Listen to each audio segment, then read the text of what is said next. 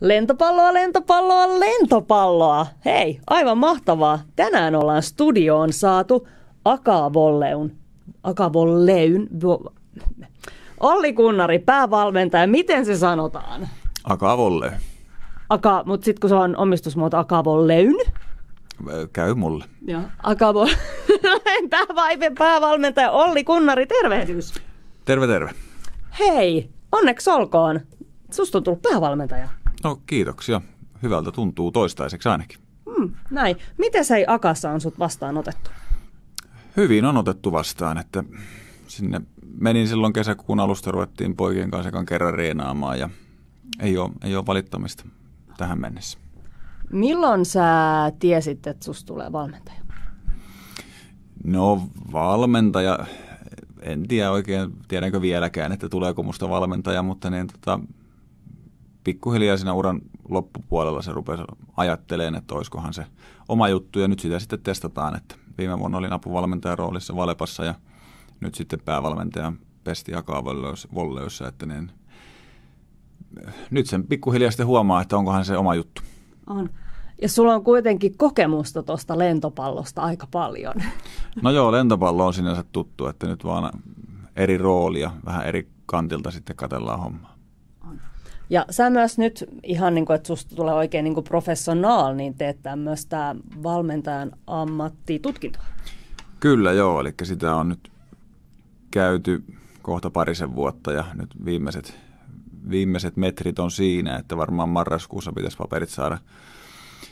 Että tota, tuolla Kuortaneella käyn Saskun kautta, mutta niin tota Kuortaneella on semmoinen ammat, valmentajan ammattitutkinto, mikä on sitten oli suunnattu tämmöiselle entiselle huippuurheilijoille, niin siellä on sitten kasattu eri lajeista, eri lajeista niin tota, uransa lopettaneita urheilijoita ja siellä sitten ollaan yhdessä sitä hommaa, hommaa tehty eteenpäin. Että siellä on muun muassa Petra Olli ja Tero Pitkämäki ja Sami Jauhojärvi ja tämmöisiä tunnettuja kavereita, niin on siellä, niiden kanssa sitten saanut puhua valmentamisesta ja urheilusta.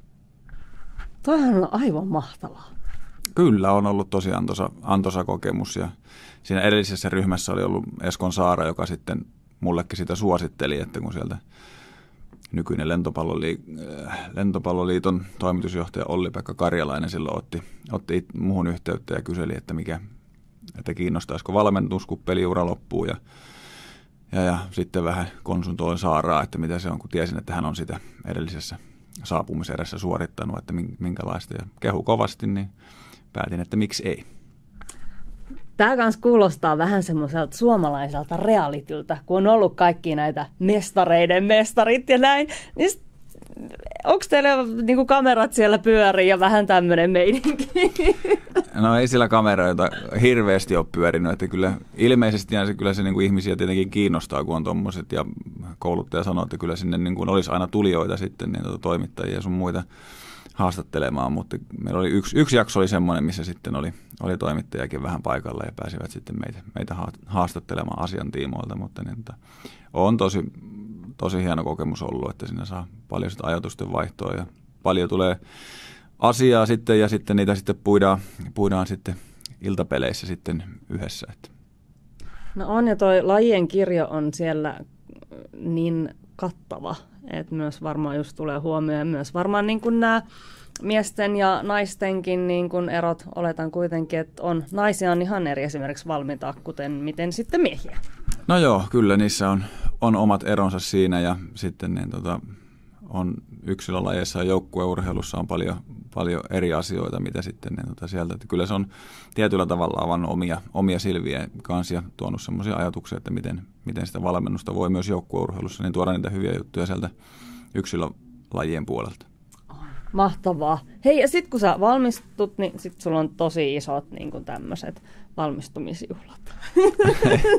ei, ei varmaan hirveästi keritä juhlimaan siinä, mutta tota, josko mä sitten Facebookin päivitän sitten siinä vaiheessa.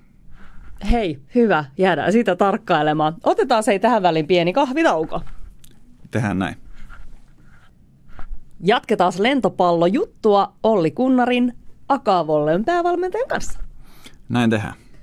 Hei, tämä on nyt sitten ollut sulle kanssa niin kun ensimmäinen kerta, kun olet päässyt rakentamaan joukkuetta. Mimmosta se on? Oli tosi, tosi mielenkiintoista ja kiva, kiva projekti, että niin, tota, siinä vaiheessa kun mä hyppäsin puikkoihin, niin siellä oli yksi sopimuspelaaja, eli Voitto Köykke Liberolla, että hänelle oltiin tehty, tehty sopimus ja sitten muissa, muissa on saanut sitten olla mukana, mukana tota, niitä miehiä sinne valitsemassa, niin kyllä on ollut tosi mielenkiintoinen projektihan se on ehdottomasti. Anne, siis tässähän niin kuin toiset tulee suoraan, toisillaan manakereja ja ei tässä mitään niin kuin CVitä lähetellä. Eikö tämä ole melkein suoraa soittelua vai miten kontaktoidaan?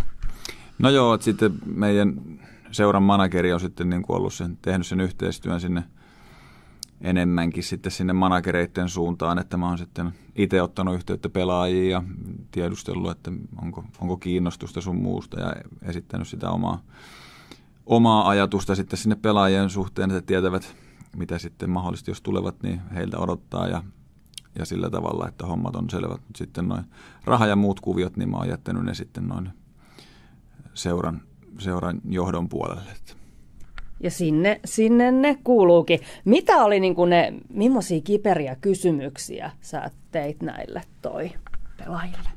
No eipä oikeastaan, en mä niitä hirveästi prässännyt siinä mistään sen kummemmista, että sitten tietenkin nuo terveystilanteet on aina semmoinen, mikä kiinnostaa, että on mitä, mitä taustoja sun muita, että jos ei ollut pelaaja sinänsä tuttu, niin niitä sitten koitettiin, että jos siellä on mahdollisia, mahdollisia tota, ongelmia, niin ollaan sitten niistä, niistä tietoinen sun muut. Mutta enemmän se on sitten, että jos pelaaja oikeasti haluaa meille tulla, niin se on se kaikkein tärkein juttu.